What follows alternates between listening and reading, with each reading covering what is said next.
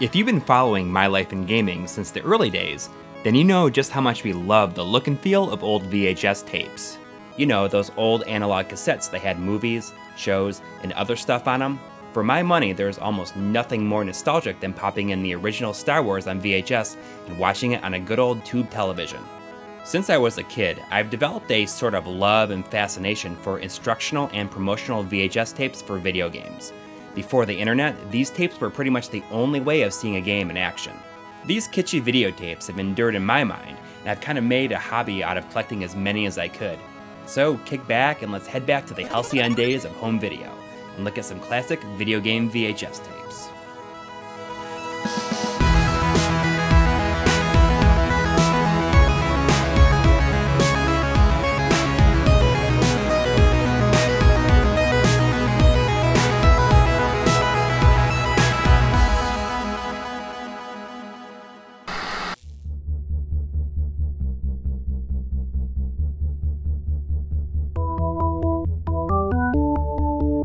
The early days of this channel, long before the RGB Masterclass, the main thing that we were known for was our How to Beat series. If you didn't know, that series was directly based on a classic videotape, or rather, game tape series from the editors at Game Players magazine. Greetings, game player. You're about to learn many new skills. Are you ready? The premise was simple you watch a playthrough of a game while a voiceover guides you through and drops hints during each segment. Sure, the tips were fairly generic and mostly embarrassingly obvious. Dodge this thing, attack that enemy, but that was half the fun. Even as a kid, I knew it was silly. To defeat the first Super Warrior, use jumping spin kicks. When he raises his arms, he'll shoot fire, so back off quickly. Each volume of this series covered at least four games and ran around 40 minutes. The series ran from 1989 through 1990 and consisted of 14 tapes. Most covered a variety of popular titles like Mega Man 2, Shoot the lobster for extra life. And be whoever has the least energy so he gets more energy. Ninja Gaiden, Now you must face Jaquio. Here's how our ninja does it. and Castlevania. These games contain a lot of information. You may want to take notes on what you discover. Some of the later ones followed specific themes, such as Konami and Acclaim games. There was even one all about the Power Glove. Now, let's go into the game player's laboratory. We'll see how one of the game player's professional game testers uses the Power Glove. All these games work really well with the Power Glove. Watch how our expert player uses the glove to help him win. I gotta be honest, I absolutely love these tapes. I used to buy them as a way to kind of experience certain games I'd probably never have a chance to play myself. For around 15 bucks, you get to see a game in action and essentially experience a complete playthrough. All in all, it was a pretty good bang for your buck, especially since I'd watched them over and over again. Welcome to the third stage. The party wagon is the only way to travel and the only way to blast through the roadblocks. Now, Game Players Magazine wasn't exactly the best magazine on the market. There were tons of others I'd pick over it, but this added a whole new dimension to the material that was primarily lifted from their strategy sections. There's so many quirks to the production of these tapes that I can't help but to find them incredibly endearing. Like how the voiceover occasionally mispronounces certain words, Dodge the statactatas. the fun names that they come up with for items, Also, don't overlook the ugly stick. It's a valuable weapon. Move over to this tree and you've got it made. I just can't help it. I love them, except the segments where they use slow motion for the entire game. Just skip those.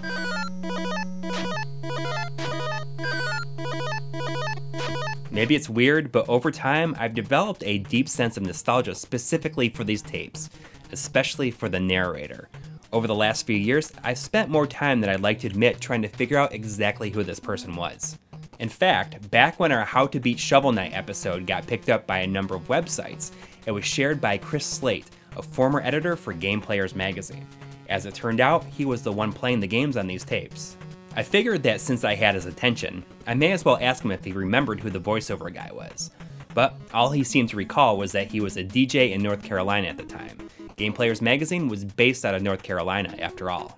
About a year later, I got a random lead from someone who thought that they knew who it was a voice actor by the name of Neil Ross, who's done a bunch of work, most prominently as the Codex in Mass Effect 3. So I booted that up, and wow, this has got to be him, right? In recent years, the pro-human syndicate known as Cerberus has seen its influence grow galaxy-wide. While preparing for this episode, I decided to contact Mr. Ross directly to see if I can confirm his participation. This was it. After all these years, this burning question would finally be answered. It didn't take long before I heard back. The answer was short and to the point. He said, I have absolutely no memory of having worked on game tapes for Game Players magazine. I can see where someone might mistake it for the 80s version of me, but it's not. I have no idea who it is, and I've never set foot in North Carolina. Man, that sucks, right? Maybe one day I'll find out who it actually was. Anyways, the Game Players game tapes were my first introduction to video game VHS tapes. I've kind of made it a goal to collect all of them. At this point in time, I've obtained nine of them. Hopefully, someday I'll be able to lay claim to the rest. Your supplies are depleted when you meet Zur, the last Xantho Lord, but you've got nothing to lose and everything to gain by fighting him. Use your remaining megaton bombs freely, and remember what you learned battling the other Xantho Lords.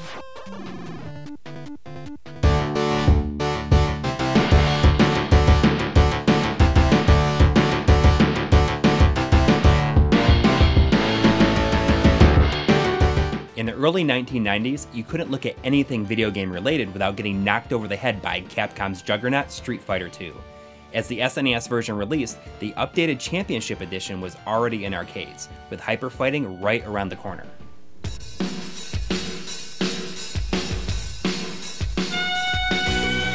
When Capcom announced that they were not only bringing Street Fighter II Special Championship Edition to the Genesis, but that they'd also be releasing an updated version on the SNES, they knew that they had some work ahead of them in order to convince fans that they needed a new version.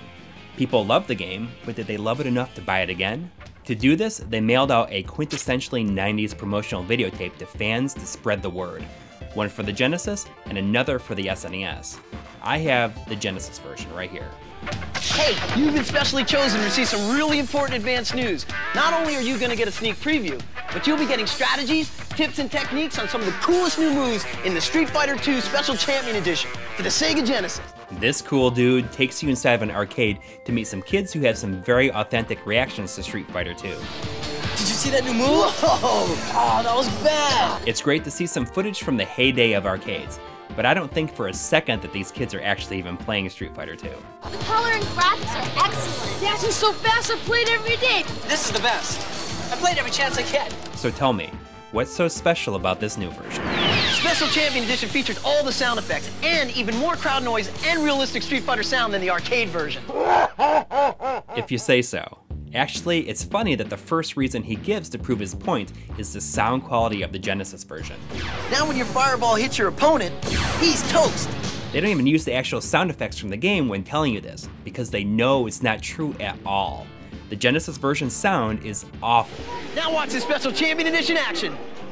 Round one, fight! In the strategy segment, you'll learn how to do some special moves that, let's be honest, you probably already know these. He does call Ryu Ru, which is almost correct. One of Ken and Ru's most famous moves is the air hurricane kick. And here's the move. Make Ken or Ru jump.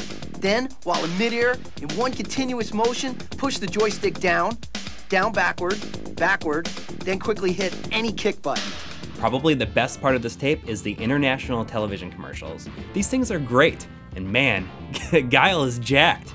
The tape wraps up with a couple more commercials. One for the Street Fighter tabletop game, Can you come back from Sonic Boom?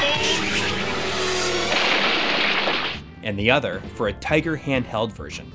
Let me tell you, this commercial goes all in on the hilariously awful US character artwork that I don't think anyone liked. Man, this kills me. You say you want to be a Street Fighter. You're no Street Fighter. The six world warriors of the Street Fighter 2 handheld game. I'm not sure how much of an impact these tapes had on fans, but both the Genesis and SNES versions went on to do well enough that Capcom was confident enough to bring the third version, Super Street Fighter II, home. This tape is a great way to go back to the days when Street Fighter II ruled arcades and home consoles. There'll always be one company to go to for serious fighting games. Because when it comes to great games, one company is to- totally awesome. A while back, when I was just starting to digitize VHS tapes for this episode, My Life in Gaming viewer Matt Fowler sent a number of tapes my way that I'd never seen before. Chief among these were three TurboGrafx 16 promo VHS tapes that are flat out amazing. First, this TurboGrafx 16 Power Up promo gives an overview of the entire product line. This is a pretty standard promo tape, covering a bunch of games and platforms in a longer than expected 18 minute runtime. At the time this promo video was released, the TurboGrafx 16 was clearly struggling in the US, retailing for just $99.99 and included the best Bonk game, Bonk's Revenge, as the package. Go bonkers with bigger, badder bosses, more powerful power ups, and pre hysterical action that'll have you cracking up. The CD-ROM add-on, which had just gotten a price drop to $149, is also showcased. We get to see this kid enjoying it and its many features against a background that puts the Saved by the Bell intro to shame. Harness the power of TurboGrafx 16 system for yourself and power up. It, it doesn't get better than this. The Turbo Express also gets a quick mention, although no price is revealed. This thing was always expensive, so it makes sense that they wouldn't want to draw attention to it. The Turbo Tap and Super CD-ROM upgrade also gets a little love before we get this bomb dropped on us. With the Turbo Duo, you can play standard turbo chip and 1 megabit CDs as well as 2 megabit games. At $299.99, Turbo Duo is the ultimate machine with the ultimate game offer. Two free CDs and a turbo chip game, five separate games at a value of $250, and you won't believe what's included. Man, the Turbo Duo came with so much stuff. This deal is incredible. I don't even think that Sega, at their most desperate with the Saturn, even managed to top this deal. Needless to say, if I'd seen this promo as a kid, I bet I would have ended up with a Turbo Duo. Next is a promo tape for Lords of Thunder, one of the system's defining shooters.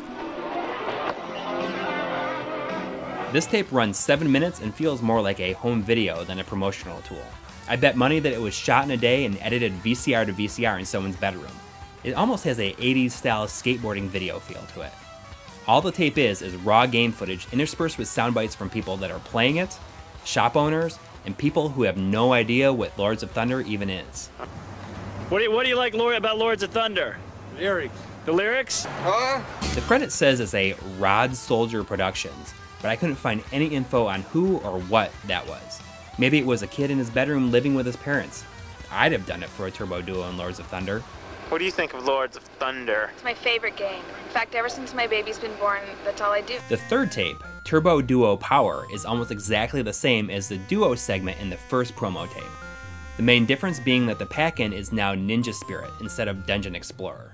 The Ninja Action Classic packed with fantastic graphics and bold backgrounds. Probably the most interesting point is the mail order offer where owners of the Turbo CD could send away for a Super System card or get a deal that included the card and some games for $95. It's called the Super System Card, and it's your ticket to a new world of gaming excitement. Add the upgrade card to your TurboGrafx CD system, and suddenly you've got Power Plus. I'm not really sure how these TurboGrafx tapes were distributed, whether they were played in retail shops, sent to fans, or appeared in kiosks. Promo videos don't get better than this. The greatest video game I ever seen. On the other side of the spectrum, we have the fourth and final tape that Matt sent me the Sega Saturn US launch promo tape. You are approaching Saturn.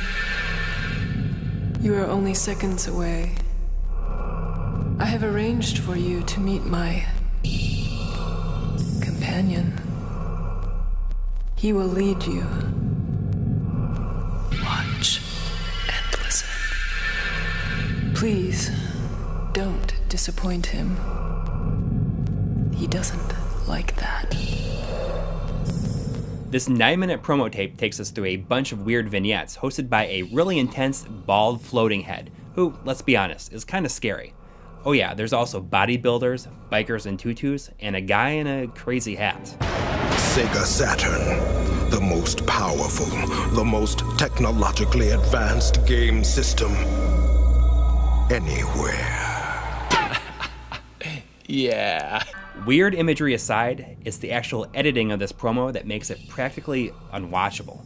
I knew that Sega had to fight to get people's attention, but this definitely did more harm than good. Once we arrive at the Theater of the Eye segment, we get a chance to witness, in real time, a person's insides going crazy at the sight of what the Sega Saturn was capable of, culminating with What else can go wrong? Urgent Synapse on line two. It's the sphincter. What is going on upstairs? forget it. As hard as this is for me to say, and how much I love the Saturn, Sega probably got what they deserve launching with this promo. Sega. Saturn. Other than the game player's game tapes, I'd always seem to see this tape at the video store. Secret video game tricks, codes, and strategies. What an awesome cover, right?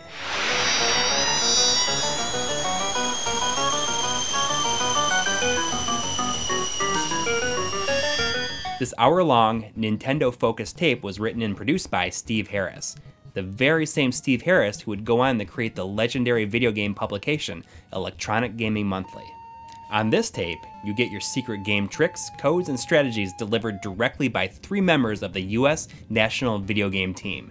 This group of professional gamers that was originally founded by Walter Day of Twin Galaxies fame helped lay a bit of the groundwork for the esports scene of today. So, what's the actual video like? Well, you get tips and tricks for 26 games, which are mostly pretty simple, like 30 lives in Contra. For 30 men in Contra, before the music starts, put in this code up, up, down, down, left, right, left, right, B, A, start. Double Dragon, which was clearly the hot game at the time, gets the most coverage. In fact, there's a 15 minute segment that shows a complete playthrough of the final level, including both boss fights. Man, this part goes on forever. Probably my favorite part of this tape, besides their liberal use of PVMs throughout, is the outtakes that play over the ending credits. This isn't right because I didn't. I just gotta. Done. I didn't go all the way up the wall. The secret video game tricks, codes, and strategy series spanned three volumes, although I've never seen any beyond the first one. I'm curious if the production style of them got better in following tapes. When you've lost your last man, hold A and B to continue where you left off. Do this before the title screen appears. October 4th, 1994. I'll never forget coming home from school that day with a copy of Jurassic Park on VHS that had just been released that day. In my mailbox was this Donkey Kong Country Exposed. I have no idea how Nintendo got my address to send this to me. It's not like I was a Nintendo Power subscriber or anything, but it sure made a heck of a decision of what to watch first. Nintendo's whole Play It Loud ad campaign was in full swing by this point, showing that it wasn't just Sega that could be in your face and edgy. I'd seen some screenshots of DKC that had me impressed, but seeing this game in motion really made me a believer. Our host, this dude, takes us inside of Nintendo of America to ask the hard questions. What's Donkey Kong Country all about, and where can we see it? Guys, we finally made it. Nintendo of America, the fortress. Let's find out what Donkey Kong Country is all about. Let's go inside. To a kid like me, it was super cool getting to see the inside of the mythical Nintendo US headquarters, even if the host was kind of embarrassing himself at every opportunity. Oh yeah, most of the tape is done with this super ugly color effect, so get used to it. It's Ken, Ken Lobb, development manager. Hey man, how's it going? Donkey Kong Country, how you doing? We meet up with Ken Lobb, then development manager at Nintendo, who takes us to the Nintendo Treehouse. Okay, I'll take you to the Treehouse. The Treehouse? Gotta hope there's no climbing involved. I gotta say, I had no idea that the Treehouse was ever talked about before Nintendo started doing their E3 live shows. Here it is. What's the password? Diddy. Password? Diddy? Yeah! In addition to Ken Lobb, we meet a bunch of different people working on Donkey Kong Country, like some game testers and Dan Owsen. This is Dan Owsen. Oh, Dan! What's up? How are you? Pretty good. Good, Dan. I want to know something about this story. Basically, we uh, had a chance to kind of create a new story for Donkey Kong. We gave him a world to live in, some supporting characters. After that, we hear a phone call from Rare's co founder, Tim Stamper, who gives some insight to how they got the characters to look like they did. I was just curious as to how you made them look so real. Because we're based in Twycross, we have uh, a zoo about two miles away. Ah, you went to the zoo. The zoo, yeah, and had a, a good look at the gorillas and the monkeys, and with video cameras, it was pretty funny. What's weird is that this is the only time that Rare is mentioned in the whole video. Even during the soundtrack segment, there isn't even a single muttering of David Wise. Because the music is so good, we're putting this music on a CD. You know, something that's big in Japan for many, many years is game music on CD. Hasn't been a big hit in America because maybe the music hasn't been quite up to what you hear on the on the radio is every daytime. You're kind of losing it, dude. The DKC exposed tape ends with a post-credit stinger that teases the then unseen killer instinct when the host walks into a room he's not supposed to be in. Let's see what's in here. Hey guys, can I play? With one-on-one fighting games at the height of their popularity, it was kind of neat to see that Nintendo was getting involved. This also served as a teaser for what we could expect from their still in development Ultra 64 hardware. I Tell you what, you better reserve this game before November 21st, because that's when it comes out in the stores. I already got mine. The goal of this tape was to sell Donkey Kong Country. They knew that when people saw it in motion, they were going to be blown away, because screenshots only tell half the story. Needless to say, it worked for me, and I ended up getting the game that Christmas. Obviously, I wasn't the only one. Unfortunately, this was the only tape I ever received from Nintendo in the mail. As quickly as I was put on their mailing list, I was removed from it. Thankfully, Try has a whole bunch of tapes that followed.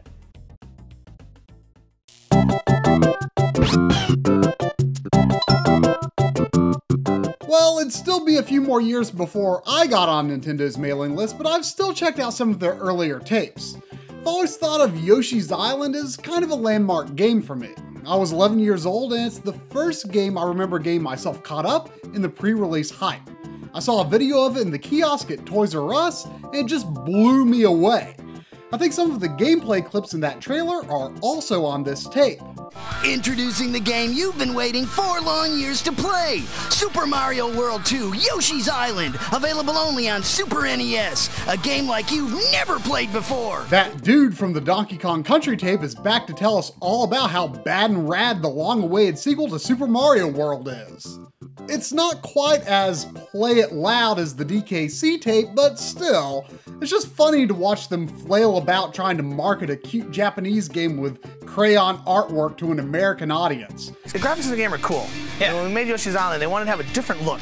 You know, so they, they do something that almost looked like a sketch. They're kind of like hand drawn. I think that was the look that, that they were going for when they designed Yoshi's Island. The scope of the video is definitely scaled back a bit from the Donkey Kong Country tape, but it's still a good look at how Nintendo of America pushed the SNES, leading into its final year as their flagship console. Hold on, big boy. Uh, where am I? Well, you've entered the world of Nintendo. What am I doing here? In order to learn all the secrets about this game, you're going to have to journey through Yoshi's Island. So, uh, which way do I go? You're going to go that way. That way? Yes. All right, thanks. I didn't get my SNES until 1994, so I was actually a bit apprehensive about Nintendo replacing it just two short years later. Until I played the N64 for myself in Toys R Us in September 1996, I had no idea just how much it would consume me. But maybe if I'd seen this launch tape sooner, I'd have been on board from the beginning. This is it, the power of N64 the driving force in the next generation of video games. With 64-bit technology, you're witness to moves and graphics that no other system can match. 360-degree viewing, three-dimensional graphic interpretations, anti-aliasing for crisp graphics, and too many other things that are just going to blow your mind. It starts off showing some news clips of the launch lines in Japan. Then we go to Nintendo of America and it's this sort of weird dark vibe for the rest of the video. These three kids, supposedly some of the nation's top gamers, who I don't quite buy as being real people, not actors, come to get a first look at the N64. So, I understand you're here to find out about the Nintendo 64. Ken Lobb shows off the refined controls in Super Mario 64, and there are all of these obnoxious reaction cuts and these kids making some dumb remarks. Oh, did you see that? Yo, you see the way he went to that door? No kidding. Yeah, Mario's got those mad door walking through skills. Anyway, the video goes on to look at Pilot Wing 64 and Star Wars Shadows of the Empire. Whoa, I love that part. I wish this video did more for me, but it's just full of unpleasing cuts and not enough fun.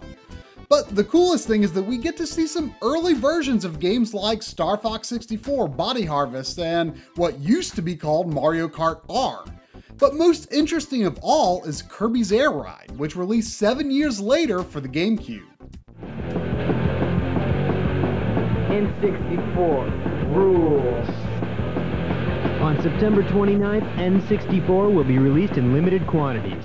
The first tape that I personally received as a Nintendo Power subscriber was for Star Fox 64. I'd actually never played the first Star Fox at the time because a friend of mine said he hated it.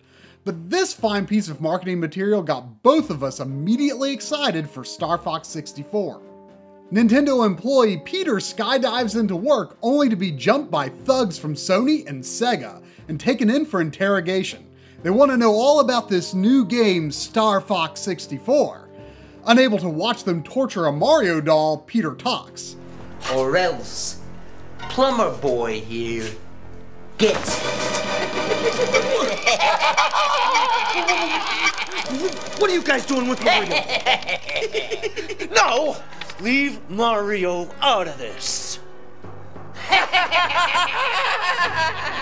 Start talking. Okay, okay, okay. You've made your point. All this awesome footage about the Star Fox team and their vehicles is more than enough to sell you on the game, but to learn more, the thugs have to capture Bob from the R&D department. Pizza for Bob. Are you, uh, Bob? Yeah, but, uh, I didn't order any pizza.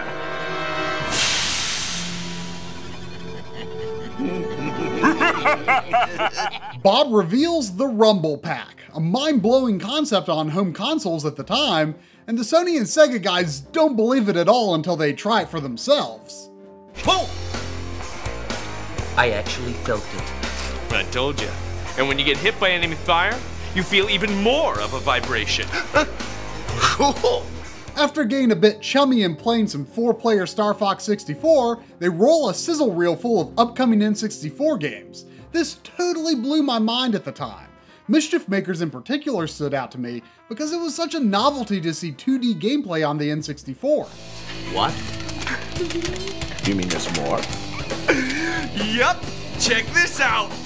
But looking back, it's also really cool to see levels that never made it into the final version of Yoshi's story, and prototype footage of Zelda 64, none of which exists in Ocarina of Time. Boy, are we in big trouble. This video is just so much fun, easily my favorite video game marketing tape ever, and I watched it over and over again as an impressionable 13 year old. I love how it captures that particular era of Nintendo versus Sega rivalry with newcomer Sony. It really is one of the last remnants of an era when Nintendo competed so confidently and so directly with its rivals. Thanks for the pizza, guys. See you later, boys.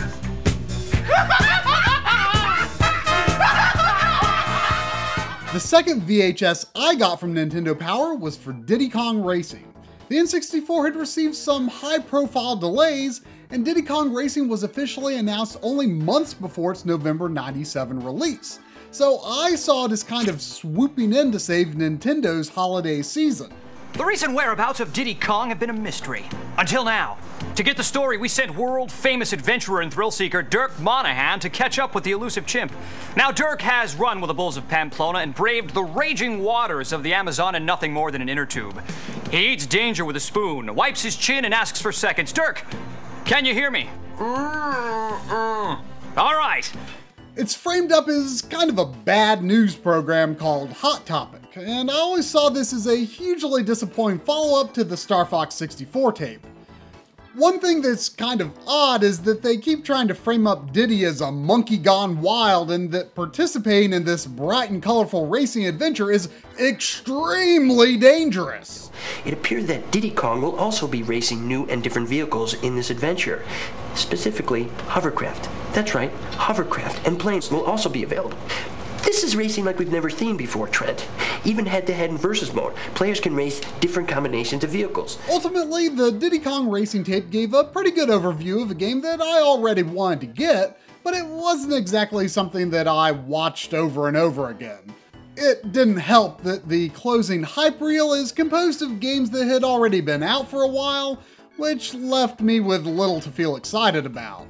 We know you've got the inside tips, Daryl. That's all we want. What about the turbo? All right, all right, all right. When you hit a turbo, let the boost fizzle out before you press the A button. If you press A, you'll cut off any boost you have going. And the power ups? Yeah, you people are vultures! Uh, little help? Nintendo wanted to improve its mainstream appeal with the N Sports branding for N64 sports titles, and this tape was sent out to promote it. It's a pretty straightforward video, nothing elaborate like the previous tapes. Okay, listen up, sports fans. Time to strap in and turn the page, because this is a preview of the season's most epic sports experience. Interesting to see the use of the word epic in a time from before it hit such a level of saturation that you can't say it anymore. But anyway, I'm not much of a sports guy, so I don't want to say too much about this video because my thoughts on it are pretty irrelevant. I always have had a soft spot for 1080 snowboarding though.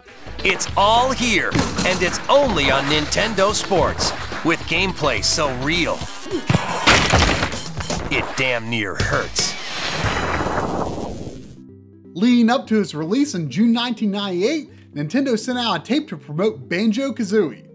As a huge Rare fan, I was already pretty hyped for it, but getting a closer look at the game in action was certainly appreciated. This time, there's absolutely no story or framing device. This is even simpler than the In Sports tape, consisting almost entirely of straight up gameplay clips with voiceover.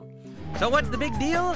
Well, listen up, because there's a new dynamic duo from the creators of Donkey Kong Country and GoldenEye that's ready to kick some serious excitement into Nintendo 64. It's Banjo Kazooie! I thought it kinda sounded like Charles Martinet, but people who are way better at identifying celebrities than me seem to be certain it's Jon Lovitz. Perhaps the most interesting thing about the tape is that it starts off with a Nintendo and Rareware logo sequence that is similar, but definitely different from the one that appears in the final game. The video drags a bit when it dedicates a significant amount of time to showcasing every single level in the game. Treasure Trove Cove! Forget your beach towel, because this world is no place to get a tan, as our heroes soon realize exploring Treasure Trove Cove. Thankfully, Nintendo brought their A game with the preview reel, this time actually showing off a bunch of games that weren't out yet.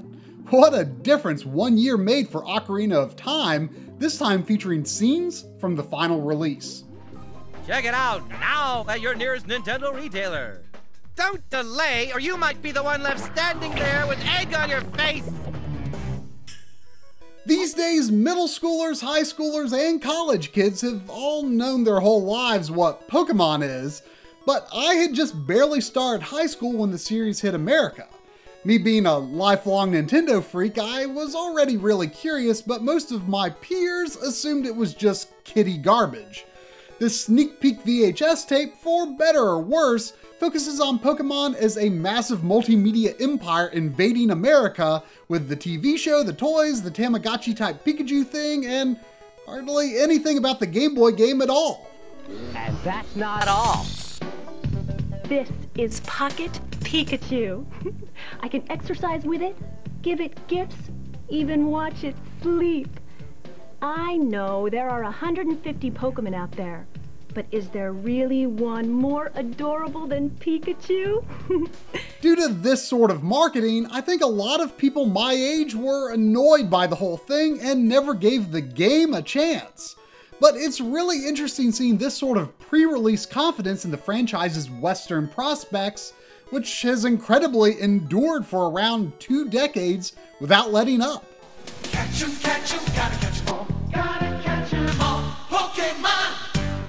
The last tape I ever received from Nintendo Power, and as far as I know, the last tape they ever sent out, is called Hot News 64. Welcome, you lucky, lucky game freaks. I'm Steve Sobel, and this is a very special edition of Nintendo's Hot News 64, the all you can eat buffet of insider news on the hottest game system in history, and I guess I must be talking about N64! Right on, right on. This is a much more straightforward news style program than the hot topic from the Diddy Kong Racing video, but it features this host that I always found to be kind of obnoxious. It was fun seeing Nintendo take jabs at Sega and Sony in 1997, but coming from 1999, it feels a bit pathetic. Or maybe it's just the way this guy says it. While the other guys are going like, hey Nintendo, hey, can I be like you? Wait, hey, let me catch up. You wanna go get a soda or something? Sorry guys. N64's always got the games and I'm here to prove it.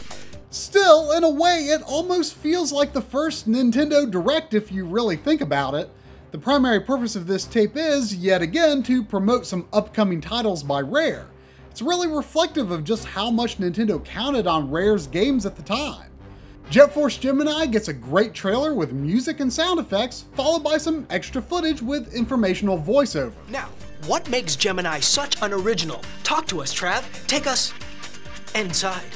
Well, Jet Force Gemini is a game that follows in the footsteps of the very best that the N64 has to offer. Games like GoldenEye, games like Turok the Dinosaur Hunter. It has a terrific near first person perspective that really serves to pull you into the game. And with 120 stages, you're going to be there a while. Again, kind of a bit like a Nintendo Direct. Donkey Kong 64 gets the same treatment. Throughout the video, we get a few cheats and tips from Dan Owsen, probably the most well-known Nintendo of America staffer at the time. It feels a bit silly providing secret tips on tape during the era of Cheat Code Central, though. Well, Link 1, if you're the Link that Dan thinks you are, you should know better than to ask. But here's a hot tip for The Legend of Zelda Ocarina of Time. The hype reel at the end does disappoint a bit. It doesn't show as many clips from each game as previous reels, and the overall selection of games featured just aren't necessarily the most exciting in retrospect.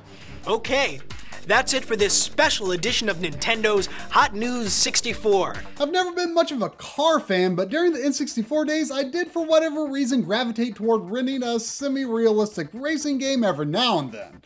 Top Gear Rally always stood out in my mind as one of the better ones I tried, and it actually holds up pretty okay with a smoother frame rate than your average N64 title. It's an American tradition that goes back centuries. So, in the spirit of getting ahead, Top Gear Rally is proud to offer you a variety of shortcuts on every track to shave a little time and put you in command. A while back, My Life in Gaming's first ever subscriber and our good friend Sobo gave me this Top Gear Rally VHS tape. I'm not too sure how it was originally distributed, but it contains, as you'd expect, a promotional pitch for Top Gear Rally. It's overall pretty straightforward, though I have to say I'm surprised just how much bad driving made the cut. I mean, this ain't Burnout. The end of the tape has a few trailers for other Midway games like Sub-Zero and even a bunch of games that weren't for N64 at all.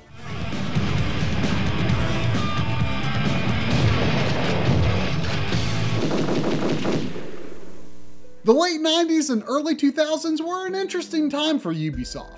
I saw them as kind of being an up and coming underdog, making some of the more interesting games out there, while today they're pretty firmly established as a AAA heavyweight targeting mass market appeal. This tape looks at three Ubisoft titles for N64, starting with Rayman 2. It's just a simple overview with voiceover, but it does a good job of making me want to replay it. Great game with a great style. It's nice that it also includes the TV commercial for the archivists out there. So, remember, it's Rayman, not Ray. Rayman 2 for Nintendo 64. Tonic Trouble is a game that I forgot existed until very recently. It's definitely the sort of game that I'd have grabbed at the rental store, but never did. I've never heard anyone bring it up and speak of it with fond nostalgia, but I think it looks decent enough. It also includes the TV commercial, which I don't ever remember seeing. So there you have it. Proof positive that Tonic Trouble for Nintendo 64 is, that's right, a lot of fun. The last game on the tape is Rocket Robot on Wheels, the first game developed by Sucker Punch, who went on to make Sly Cooper and Infamous. This is a game that I picked up not too long ago, but I haven't had a chance to play through it yet. The overview here makes it look really amazing though, tons of variety, so maybe I should make it a priority. Build towering roller coasters and take them for a ride. The tape finishes with a preview for the Rayman animated series, another thing I forgot about existing. There's no reason to worry. It's a big city. We'll blend right in.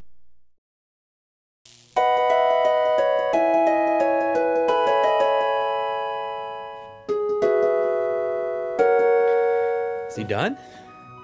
Man, That was a lot of tapes. As a kid, I bought all the game magazines EGM, GameFan, Video Games and Computer Entertainment, Game Players, and GamePro. GamePro was fairly kid friendly, so it made a lot of sense when they announced that they were making a TV show out of the magazine.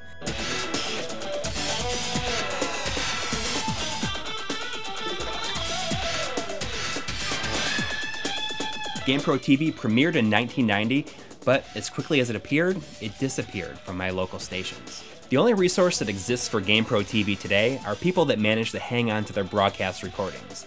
However, GamePro did release a rentable VHS tape that compiled all the tips, tactics, and code segments from the main show exclusively to video stores. I just have volume 1 here. Yo, hey, I'm down here, over here. See, I figured if you want to get the news, you might as well get right into the best place to find it. So, here I am, right in the middle of the pages of GamePro magazine, the number one source for home and arcade video game information.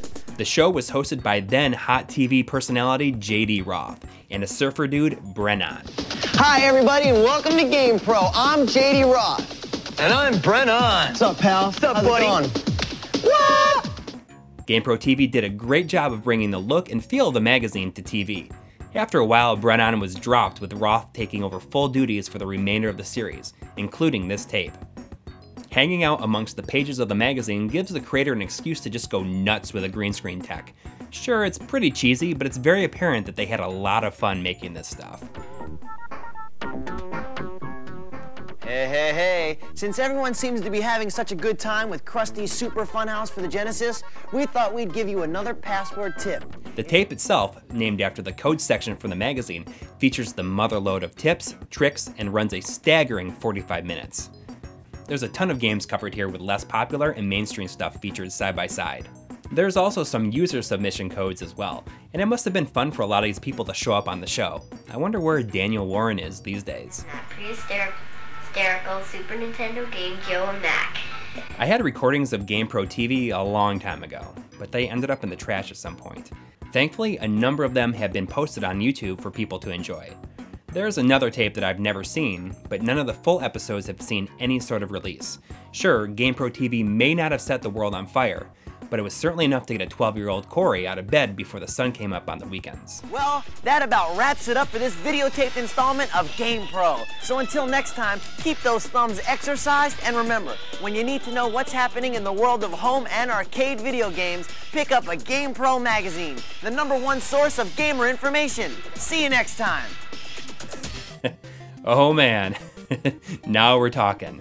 The How to Score More Points in Nintendo Games instructional video series from Kodak Home Video are by far the best how to win tapes I've ever seen. And when I say best, I mean the worst, in the best way. Are you ready to win at your favorite Nintendo games? Imagine the power you'll have when you know the secret paths and you've seen how to score more points. But before we get to the realest tips and tactics you've ever heard, we gotta check out some trailers for Kodak's other instructional tapes, such as the incredible Just Say Yo. The Yo Yo Man instructional video, a great gift idea from Kodak Video Programs. Join the fun. Just say yo. As the main show begins, I see a familiar name. Turns out these tapes were produced and directed by Seth Godin in 1989. If you don't know who that is, well, he would go on to publish the Worlds of Power books, which were NES game novelizations. I've done episodes on them, check them out. After the credits, we meet our host. Skip. Actually, I'll let him do the introduction. Hi, my name is Skip Rogers, World, Video, Game Champion. Whew, this tape is a bit rough around the edges. It'll walk you through five games. Well, that might be giving old Skip a bit too much credit. These tips make what we heard on the Game Player game tapes sound like super plays. There's some really hilarious gems here, almost all totally worthless. Landing is the hardest part of the game. Even Skip Rogers misses a landing now and then. The white dot on the map shows you where you are. The red dot gives you your destination. But my main question is, who is Skip Rogers? I don't know, that sounds like a fake name to me. World Video Game Champion? That sounds like a lie too. Besides, if he really was the World Video Game Champion, how come he needs gameplay consultants? How come his gameplay tips suck? Hey Skip, do you have any hot strategies for Blaster Master? Shoot them as they come around the corner. Avoid the lava pits. Grab the lightning pill. It will increase your firepower. Alright, alright, right. Maybe I'm a bit harsh on old Skip. I mean, I've definitely gotten more than my 99 cents worth of enjoyment on these tapes. Unfortunately, I don't think that any more were produced beyond these two. I wonder where Skip is these days, if he was real. Kids ask me what kind of joystick I use. When you play all day, you need a stick that's comfortable and stands up to a lot of gameplay. That's why I like the Ultimate Remote from Beeshu. As a special bonus, you can call Beeshu and they'll send you a brochure and a special note from me, Skip Rogers, World, Video Game Champion. The final tape that I own is also the newest. Squaresoft on PlayStation Collector's VHS arrived in late 1997, well after Final Fantasy VII had taken the world by storm and effectively made RPGs a thing for the masses in the US. Squaresoft obviously wanted to capitalize on the success by letting people know about their upcoming games, but first, some Final Fantasy VII content. Man, these trailers still get me hyped.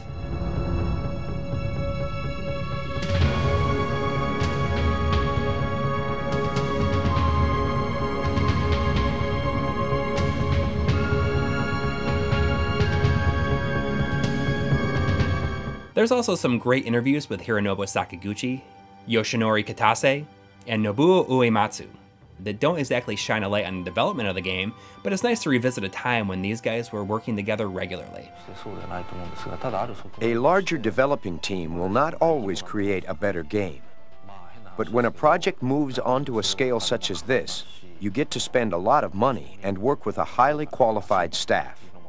Following the interviews is around 4 minutes of game trailers that gave us a look at some of Squaresoft's early PS1 offerings like Bushido Blade, Final Fantasy Tactics, and Saga Frontier. I remember it being so surreal that all these games were coming after how few Squaresoft games had been released in previous years on the SNES.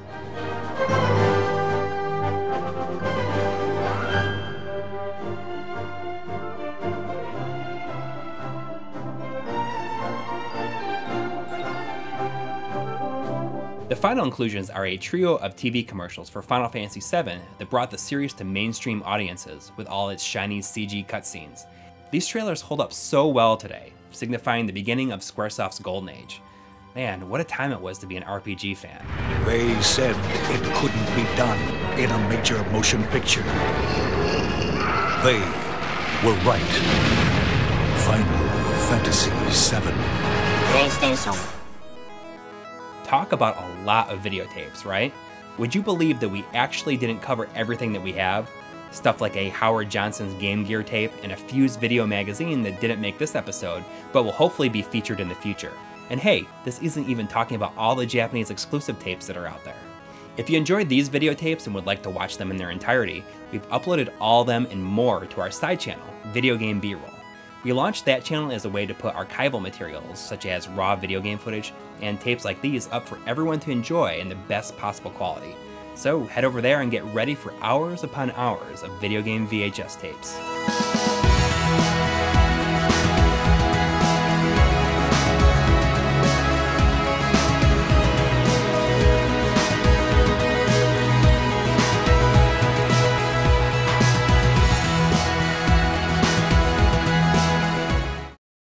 In my mailbox with this.